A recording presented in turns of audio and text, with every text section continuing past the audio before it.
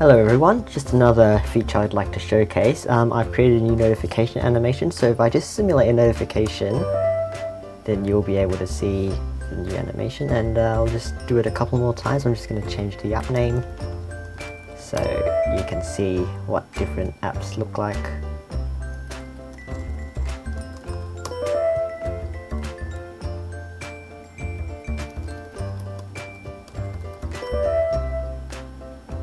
So you, as you may uh, as you may be able to tell, that takes the background color from the uh, dominant color of the icon.